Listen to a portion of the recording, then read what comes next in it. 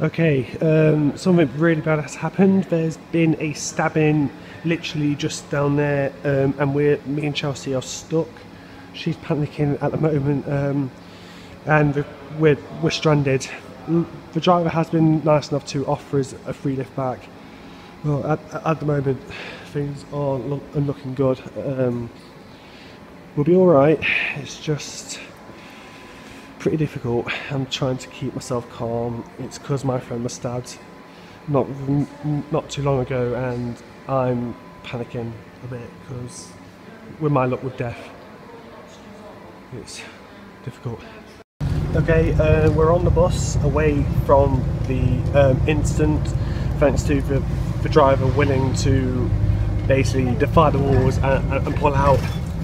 Um, we'll be safe. We'll be safe. So as you saw by the last two clips, um, there was a stabbing in on right near me and Chelsea. We were stuck, but luckily one of the bus drivers broke the rules which he had been given and started giving people lifts home, which was very, very, very nice of him. Um, the stabbing was fatal. Uh, the guy died.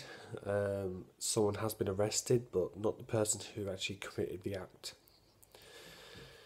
me and Chelsea did have a bit of, of a fight afterwards because we had a bit of an argument.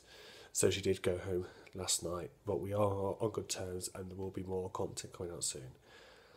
But this just shows that stabbings can happen anywhere, anytime. And it's very, very, very alarming when you actually have to deal with it. And you're that close to everything yeah, just just just stay safe out, out, out there eh, in this world. Stay safe, guys, and peace.